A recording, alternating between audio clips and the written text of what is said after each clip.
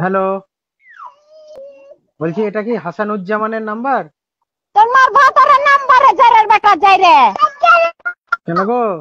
জারের বেটা যাই রে তোকে লজ্জা লাগে না শরম লাগে না? তোর মা তোর মার ভাতারের মোবাইলে ফোন করছে।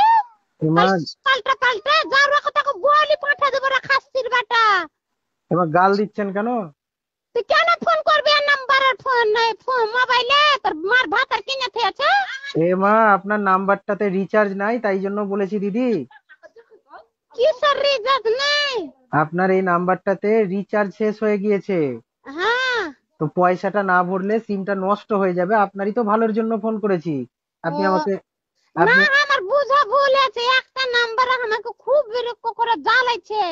তো অন্য অন্য নাম্বারে ফোন করছে। দিয়েছি আপনি আমাকে কত গাল দিলেন বলুন তো। হ্যাঁ আমার ভুল হয়েছে। অন্য। অন্য নাম্বারে ফোন করছে রে ভাই? তো আমার মাথা খারাপ করে দিচ্ছে। রাত বারোটা করে মানে না দুটো মানে না ওগুলো করলে তো আপনি একটা কাজ করবেন রাত্রিবেলা ফোনটাকে বন্ধ করে দিবেন তাহলে আর আপনাকে বিরক্ত করতে পারবে না ঠিক আছে? হ্যাঁ আর এটাতে আজকে একটা রিচার্জ করে নিবেন পঁচাত্তর টাকা দিয়ে।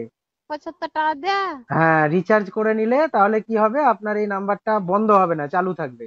ঠিক আছে তুমি অপারেশন করছ নাকি? হ্যাঁ আমি ফরাক্কা অফিস থেকে বলছি। ফারাক অপারেশনে হ্যাঁ।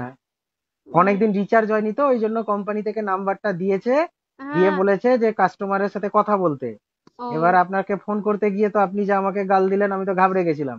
ও আমি একটা আলগা নাম্বারে ভাই ফোন করছে রাত কিছু মানে না কিছুই মানে না সব না লোকজন খারাপ গো কি বলব? হ্যাঁ। আপনি ফোন বন্ধ করে রেখে দিবেন রাত্রিবেলা। দেবাকার আমি একাই একাই বাতে থাকছে আমার স্বামী বিদেশে আছে।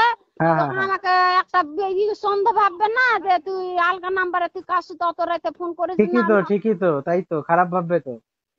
আছে। ঠিক আছে আমি কিছু মনে করিনি আমি বুঝতে পেরেছি ভুল হয়েছে আপনার। তো আপনি হ্যাঁ একটা কাজ করবেন দিদি আজকে একটু রিচার্জ করে নেবেন হ্যাঁ? পয়সা ভরে নেবেন। ঠিক আছে পঁচাত্তর টাকা আজকের মধ্যে করে নেবেন না হলে